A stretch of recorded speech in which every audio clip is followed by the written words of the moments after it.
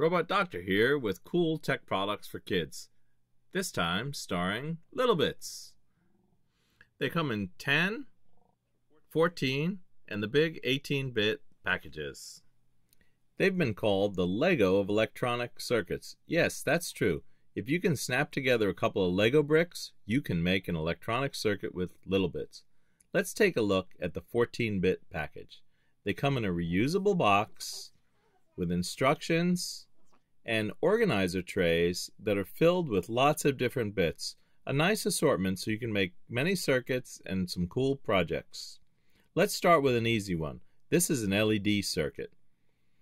The blue bits are the power bits. We connect up the battery and this will bring electrical power to our circuit. It's the beginning of any circuit. You turn on the switch, the red light comes on to indicate that we have power available for our circuits. The pink bits are the control bits. They control how energy will flow through the circuit. This one is a slider, which limits the amount of current flowing to the next element. The green bits are the output bits. These are the ones that make all the cool effects. This is a long, bright LED bit. Connect it up.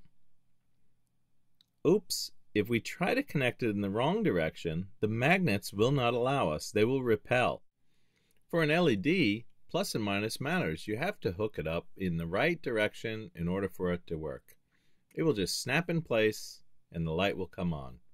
With the slider, we can adjust how bright the light is. We can make it dim, we can make it really bright, or we can set it to something that is just right. Congratulations, you've made your first electronic circuit with littleBits.